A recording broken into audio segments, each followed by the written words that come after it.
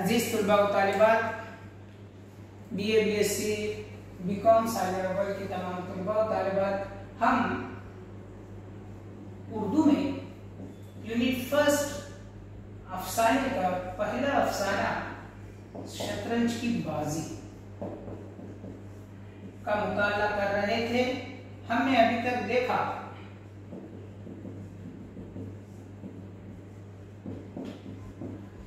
देखा कि किस तरीके से शतरंज की बाजी से कौन कौन सी तबाया हो रही है। इसके अलावा लखनऊ के नवाब वाजिद अली शाह किस तरीके से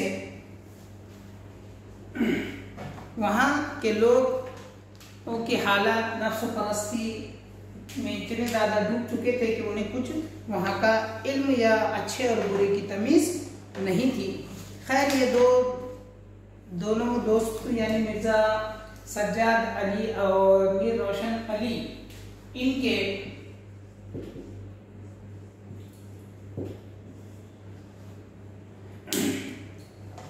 शतरंज खेलने के अंदाज से, उनके शतरंज की बाजियों से बहुत सारे तरीके से यहाँ पर बताया गया है मुंशी प्रेमचंद ने कि किस तरीके से लोग ऐश में मुबतला थे, जिसकी वजह से लोगों का वहाँ पर बेजार एकदम हाल कैसा था।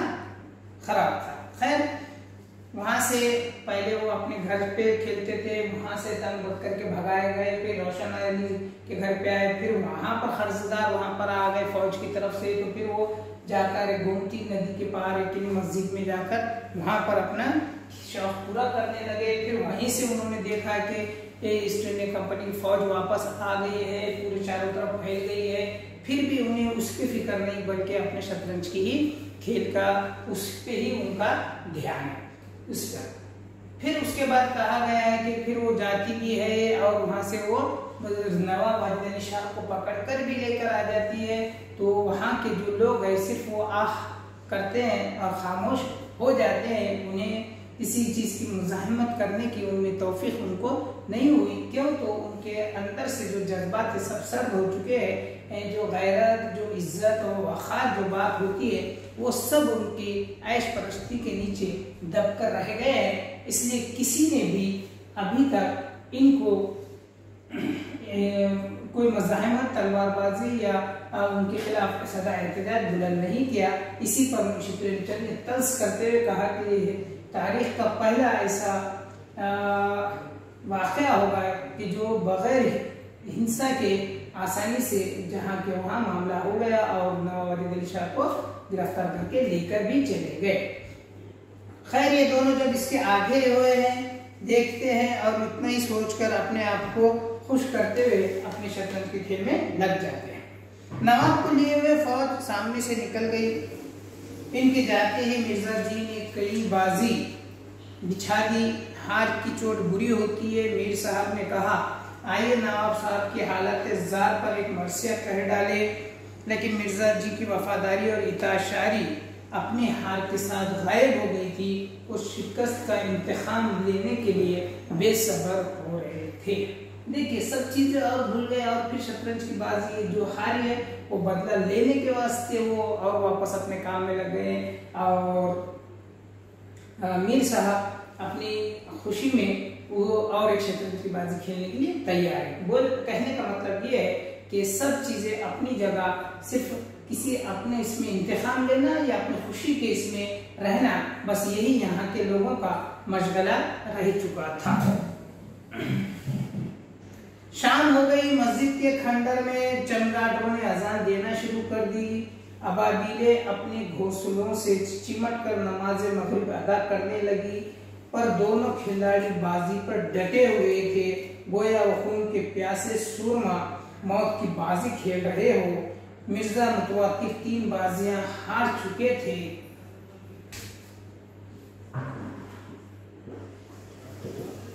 मिर्ज़ा तीन बाजियाँ हार चुके थे और वो बदला लेने के लिए और ज़्यादा जोश में खेल रहे थे।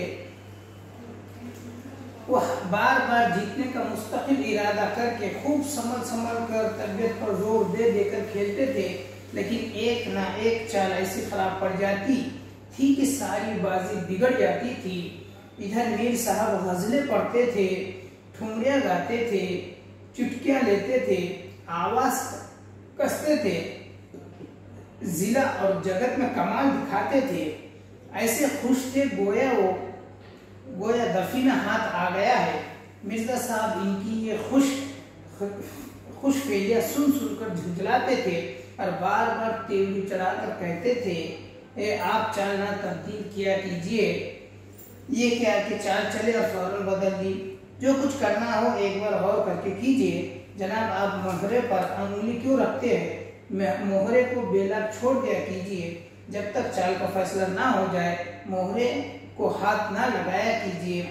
हज़रत, आप एक चाल आध आध घंटे में क्यों चलते हैं? इसकी सनद नहीं, जिसकी एक चाल में पाँच मिनट से ज़्यादा लगे, इसकी माँ समझी जाए। फिर आपने चाल बदली, मोहरा वही रख दीजिए। खैर, इस पैराग्राफ में इंसान का अपना एक जो तरीका होता है, वो यहाँ पर बता रहे हैं। क्या कह रहे हैं? कि भाई इंसान जब खेलता है और जब इस तरीके से इतनी जुनूनी हद तक खेलने की कोशिश करता है तो वहाँ पर बेईमानियाँ या गलत फहमियाँ या अपने आप को बहलाना या अपने आप को बड़ा बताना, ये बहुत ज़्यादा हो जाता है। जब कोई जीतता है, उसको तो खुशी में वो क्या करता है? वो अच्छे अच्छा अंदाज अपनाने की कोशिश करता है और सामने वाले पे फिक्रे कसना शुरू करता है, जिसकी वजह से सामने वाला जो हार रहा होता है, शिकस्त शिकस्त खोरदा होता है, वो धीरे धीरे अपने अपने तरीके से क्या है?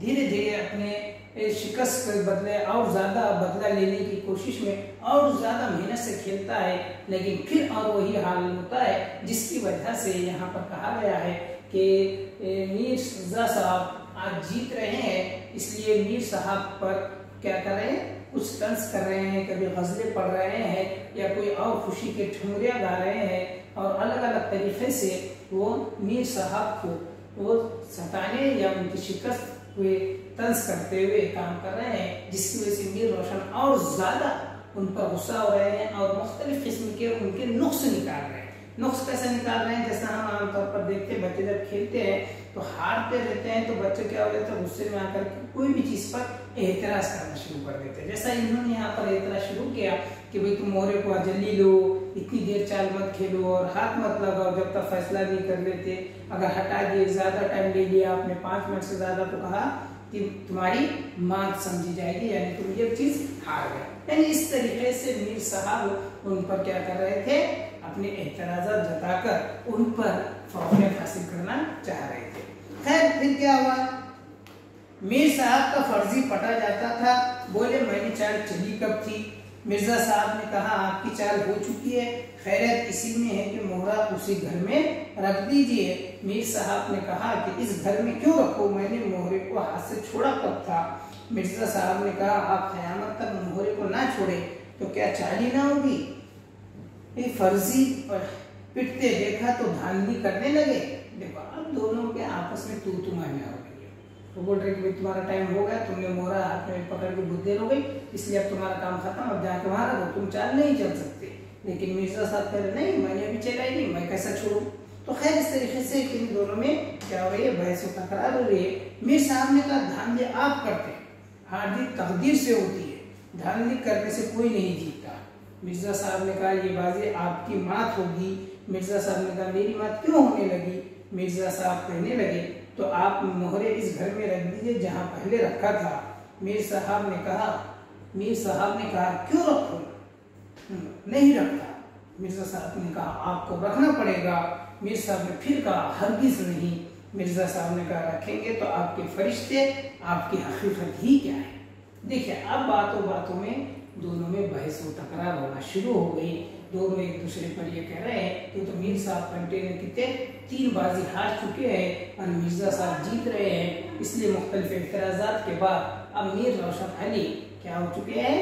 इस पर गलत इस पर आ रहे हैं और वो मिर्ज़ा साहब को अपने नीचे दबाने के लिए, उनको कम बताने के लिए मुख्तलिफ़ एतराज़ा कर रहे हैं, जिसमें वो दोनों बहस में तकरार हो गई और बढ़ते बढ़ते बहस बहुत ज़्यादा बढ़ गई। बात बढ़ गई, दोनों अपनी टेक के धनी थे, ना ये दबता था, ना वो तकरार में लामहाला गैर मुतल बातें होने लगती है, जिनका मंशा जलील और खफीफ करना होता है। देखिए, जब बातों में बहस तकरार बढ़ जाती है तो वहाँ पर फिर अपनी जो हदें होती है, अदब वो, एहतराम का जो मकाम होता है, वो इंसान खो देता है। और फिर वहाँ से जो अल्फाज होते हैं, वो सख्त से सख्त होना शुरू हो जाते हैं। और एक वक्त ऐसा आता है कि सामने वाले को जेर करने के लिए इंसान अपनी तमाम हदों को भूल जाता है। और वो उसका मकसद यही होता है कि सामने वाले को छोटा करे या जलील करे। बस यही चीज़ें यहाँ पर दोनों में शुरू हो गई। देखिए आगे क्या हुआ। मिर्ज़ा जी ने फरमाया अगर खानदान में किसी ने शतरंज खेला होता तो आप आइन और कायदे से वाकिफ होते। वो हमेशा घास छीला किए। आप क्या खाकर शतरंज खेलिएगा? रियासत शायद दीगर है। जागीर मिल जाने से कोई रईस नहीं हो जाता। अब देखिए, बात इतनी ज़्यादा बढ़ गई कि बढ़ते बढ़ते क्या हो गया? मिर्ज़ा जी ने क्या करे? इस पर इनकी जाती शख्सियत पर, यानी इनके बाप दादाओं पर उंगली उठाना शुरू हो गया। और मिर्ज़ा साहब ने इनको कहा मीर रोशन अली को कि भाई तुम्हारे घर में भी कोई खेला होगा तो तुम्हारे इसके रूल्स, कायदे वो कानून मालूम होंगे। लेकिन तुम्हारे घर के सब लोग क्या करते थे? घास छीनते थे। लेकिन सिर्फ़ और सिर्फ़ तुम्हारे जागीरें मिलने से कोई रईस होता है क्या? नहीं होता यानी इस तरीके से तंज मिर्ज़ा रोशन, मीर रोशन अली पे किया। अब ये भी अपनी जाति इस पर इस तरीके से हमला हो जाए तो ये थोड़ी रुकने आने थे ये भी अपने हाथ छोड़कर कहने लगे, मीर साहब ने कहा, घास अब आपके अब्बा जान छीलते होंगे, यहाँ तो शतरंज खेलते पीढ़ियाँ और पुश्ते गुजर गई वो बोल रहे कि तुम तो ये पुश्ते तो हमारी पहले से खेल रहे लेकिन तुम्हारे आबा अजदार क्या करते थे होंगे? घास छीलते थे होंगे। मिर्ज़ा जी ने कहा अजी जाइए, नवाब गाजी उद्दीन के यहाँ बावर्ची बावर्ची गिरी करते करते उम्र गुजर गई। इस तुफेल में जागिर पा गए। आज रईस बनने का शौक चराया। देखिए, मिर्ज़ा साहब ने गए फिर इन पर तंज करते हुए कहा कि भाई तुम्हारे जो है, वो आबाजदार थे, वो नवाब गाजी उद्दीन नवाब गाजी उद्दीन के पास क्या करते थे? बावर्ची थी। जब नवाब या बादशाह खुश होते हैं तो उनको क्या करते हैं? जागीरें अता कर देते थे, जिसके बाद बाद में ये लोग अपने आप को बड़े बड़े जागीरदार कहने लगे बिल्कुल वैसा ही कि मिर्ज़ा साहब ने मीर रोशन अली को भी कहा कि भाई तुम्हारे जो वो वालिद थे, वो क्या करते हैं? नवाब गाजी उद्दीन के पास बावर्ची थे, खुश हुए, उन्होंने जागीर दी थी तो आज कह रहे हैं कि तुम बहुत बड़ी जागीरदारी और वैसी का धोख बच्चे मीर साहब ने भी कहा, खामोश होने वाले थे कहे आप? क्यों अपने बुज़ुर्गों के मुँह में कालिक लगा रहे हो? वही बावर्ची रहे होंगे। हमारे बुज़ुर्ग तो नवाब के दस्तरखान पर बैठते थे। हम निवाला वो हम प्याला थे।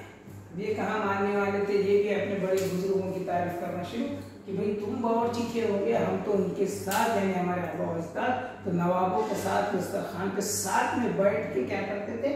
हम प्याला वो हम निवाला थे। मतलब उनके साथ में उठना बैठना खाना पीना था। यानी दोनों एक दूसरे के बढ़ाया करते हुए दूसरे सामने वाले को कमज़ोर और छोटा बताने की कोशिश कर रहे हैं। मिर्ज़ा साहब ने कहा, बेहया, बेहयाई, बेहयाओं को शर्म भी नहीं आती अब अल्फाज तल्ख से तल्ख होते जा रहे हैं, एक दूसरे पर कीचड़ उछाल रहे हैं। मीर साहब ने कहा, जबान से मानिए, वरना बुरा होगा। यहाँ ऐसी बातें सुनने के आदि नहीं किसी ने आग दिखाई और हमने दिया, तला हुआ हाथ भंडारा खुल गया। फिर अब वो अल्फाज की तरफियों में बढ़ गए।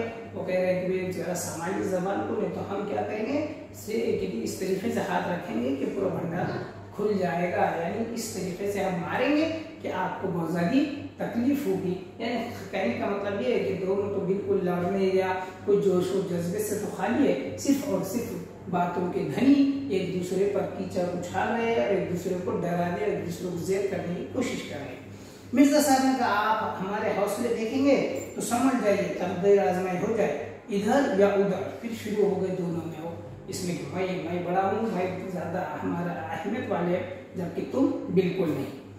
फिर क्या होगा, इस तरीके से झगड़े हुए, और मीर साहब ने भी गुस्से में आकर कहा हाँ आ जाओ, तुमसे दबता कौन है? दोनों एक दूसरे को दबाने और जेर करने की कोशिश कर रहे हैं। बातों बातें इतनी बड़ी कि दोनों हाथ और पाई पर आ गए हैं और दोनों भी एक दूसरे से कह रहे हैं कि ठीक है आओ कौन क्या करता है, देख लेंगे आज तो खैर, ये बातें बड़ी, दोनों दोस्तों ने कमर से तलवार निकाल ली।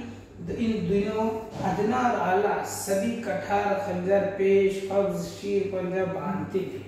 भाई आओ या मत आओ मगर सबके पास उस दौर में क्या है? कह रहे हैं कि ये सब जितनी भी असला है के अकसाम है जितनी यहाँ पर नाम आए हैं कठार कहा गया है खंजर कहा गया है पेश कब्ज कहा गया है शीर पंजा यानी पंजा जो बाँध कर ये करते हैं बांधते थे। सब इतनी दोनों सब अपने साथ में रखते थे सिर्फ़ बताने के लिए हम हाँ, बस ये कुछ और हम ऐसे बाहर दूर करते देगा। कुछ भी नहीं, क्यों तो अंदर से उनकी जो जज्बात है जो उनकी ताकत थी, वो सब खत्म हो चुकी थी। खैर, दोनों ऐश के बंदे थे, मगर बेगरत ना थे। बेगरती नहीं थी। ऐश करना था, मगर बेगरत थे क्या बिल्कुल नहीं। कौमी दिलेरी इनमें अनखा थी, मगर जाति दिलेरी कूट कूट के भरी हुई थी। अनखा कहते हैं गायब। कह रहे हैं कि मुल्क की जो है, कौमी अपने मुल्क से, अपने शहर से, इसके वास्ते उन्हें दिलेरी थी क्या? नहीं। उनके वास्ते कोई जज्बात नहीं। लेकिन खुद के जात इस पर कह रहे हैं कि बहुत ज़्यादा जीत थी जीत थी दिलेरी थी और कूट कूट कर भरी हुई थी जीत के तौर पर। और वो इस तरीके से क्या है? कोशिश कर रहे थे। इनके सियासी जज्बात फना हो गए थे। बादशाह के लिए, सल्तनत के लिए कौम के लिए क्यों मरे? क्यों अपनी मीठी नींद में खलल डाले? मगर इंफरादी जज्बात में मतलब खौफ था। खौफ ना था, बल्कि खौफी तर हो गए थे। देखिए, ये बहुत बड़ा एक अलमिया है कि इंसान जब तक खुद की जात पर नहीं आता है, बिल्कुल उस इसमें जब तक अपनी जात पर कोई बात नहीं आती है, लोग ये समझते हैं कि हम महफूज है और हम अच्छे तरीके से ये है, हमारा काम ये चीज़ों में पढ़ना नहीं है, बल्कि अपने काम, खाना, पीना, रहना, अपने जो मसरूफियात है और अपने जो काम है, वो करना ही उसको ही बहादुरी और अखलमंदी समझते हैं। जबकि कौमी सियासी जो मसले हैं, इस पर भी ध्यान देना हर एक का फ़र्ज़ है। लेकिन जब कह रहे हैं कि इस तरीके से हो जाता है, लेकिन जब इंफरादी बात आती है तो वहाँ पर कह रहे हैं कि वो बहुत ज़्यादा खबीतर हो जाते हैं, बहुत ज़्यादा खुद को ताकत समझते हुए वो अपनी क़वत बताने की कोशिश शुरू कर देते हैं।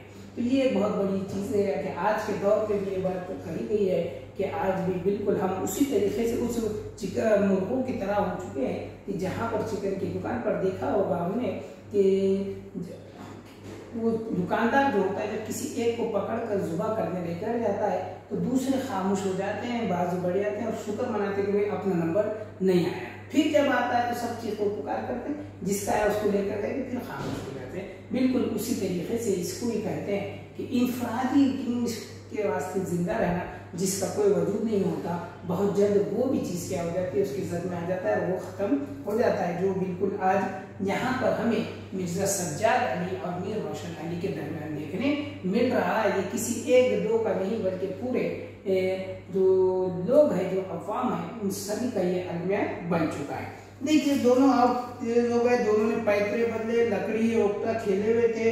तलवार चमकी, छपा, छप की आवाज़ आई और दोनों जख्म खाकर गिर पड़े। कुछ नहीं ज़्यादा तो कुछ नहीं कर रहे थे, लेकिन बचपन में क्या है? कह रहे हैं लकड़ी और तला खेलते थे, देखो था लकड़ी से मारने का इसमें एक दूसरे इस पे रुकाना बस उतना ही था मालूम उन्हें बाकी कुछ नहीं था। लेकिन यहाँ पर अब जब बात अपनी इंफरादी इस पर आ गई तो वो उसको छोड़ने नहीं करना चाह रहे थे और इसलिए एक दूसरे को जब शुरू करे, उस उसके तरीके से लड़ने के इसमें तो एक दूसरे को तलवारें थी, जख्मे खाए और दोनों भी एक अलग अलग जगह गिर पड़े। दोनों ने वही तरफ़ तरफ़ कर जान दे दी।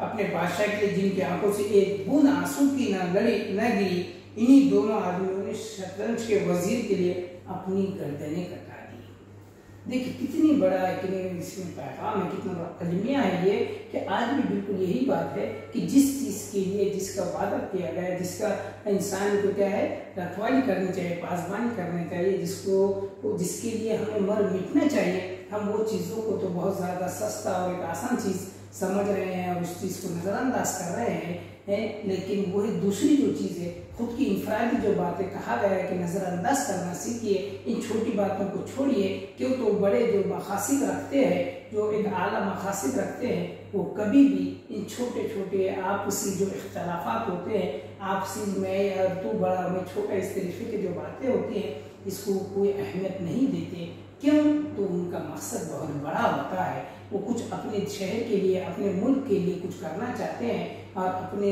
मज़हब के लिए कुछ करना चाहते हैं, उन, वो लोग इन छोटी छोटी बातों को अपने आप इंफरादी जो कशमकश होती है या इंफरादी जो तसादुम होते हैं, उसको नज़रअंदाज कर देते हैं। लेकिन जब यही लोग अपनी इंफरादी चीज़ों को इतना ज़्यादा अहमियत देना शुरू कर देते हैं और अपनी सतही तौर पर या कौमी सतह पर के जो मकासद है, उनको नज़रअंदाज करते हैं तो उनका कोई मकाम नहीं रहता। वो बहुत जल्द इस ज़मीन में क्या हो जाते हैं? दफन हो जाते हैं। यही बात मुंशी प्रेमचंद इस शतरंज की बाजी के खेल के ज़रिए हमें समझाना चाहते हैं कि ये लोगों ने जब उनके नवाब वाजिद अली शाह को गिरफ़्तार किया गया तो किसी चीज़ का कोई, किसी पर कुछ एहसास हुआ? नहीं हुआ। लेकिन कह रहे हैं कि एक खेल, शतरंज का जो खेल है, उसके एक वज़ीर के वास्ते इन्होंने क्या किया एक दूसरे के वास्ते लड़े और एक दूसरे की गर्दनें काट दी और दोनों खत्म हो गए। यही आज का अलमिया है कि मसनवी चीज़ों को बहुत ज़्यादा अहमियत देकर जो इंसानी ज़िंदगी का जो बात है, उसको नज़रअंदाज कर रहे हैं। खैर, दोनों आपस में लड़कर अपने आप को ख़त्म कर दिए, कोई पुरसान हाल नहीं, दोनों की लाशें वहाँ पर क्या है? पड़ी हुई है। अंधेरा हो गया था, बाजी बिछी हुई थी। दोनों बादशाह अपने अपने तख्त पर रौनक अफरोज थे। इनमें हसरत छाई हुई थी। गोया मकतूलिन की मौत का मातम कर रहे हैं। चारों तरफ़ सन्नाटे का आलम था। खंडर की बुरसीदा दीवारें और खस्ता कंगुरे और सर्व सर्व जजूद मीना इन लाशों को देखते थे और इंसानी ज़िंदगी की बेसबाती पर अफसोस करते थे, जिसमें सर्व सर्व गश्त का सबात नहीं। देखिए, यहाँ पर इस आज का हमारा जो अफसाना है, वो यहाँ मुंशी जल्द खत्म कर देते हैं कि कह रहे हैं कि भाई ये तो आपस में लड़ के मर चुके हैं, लेकिन जो शतरंज के खेल के जो बादशाह थे, वो जो शतरंज पर मुहर लगे हुए थे वो आराम से बैठे थे, उन्हें कुछ फ़र्क हुआ क्या? बिल्कुल नहीं, और यही आपस में लड़कर अपने आप का अख्ताम कर दिए। यही हाल हमारे पास कर भी है कि सियासतदान, वो तो अपने अपने कुर्सियों पर जमे बैठे हैं, लेकिन हम जो आपस में भाई भाई है भाईचारगी से रहने वाले लोग हैं, यही आपस में एक दूसरे पर कीचड़ उछाल कर एक दूसरे का चैन सुकून बर्बाद कर रहे हैं और एक दूसरे को खत्म कर रहे हैं। और जो बादशाह ये बनकर बैठे हैं, ये लोग तो अपनी अपनी खुशी, अपने मज़े से रहते हैं। तो खैर, इस अफसाने के ज़रिए मुंशी प्रेमचंद ने आपसी इख्तलाफात और इनफरादी जज्बात को दूर रखते हुए ये मुल्क के लिए अपने जज्बात को जागे हुए बेदार रखने की तरकीब यहाँ पर की गई है। खैर, इस पहला जो अफसाना है, वो यहीं पर ख़त्म होता है। इन इसके आगे का जो अफसाना है, वो हम अगले लेक्चर में देखते हैं। अल्लाह हाफिज़।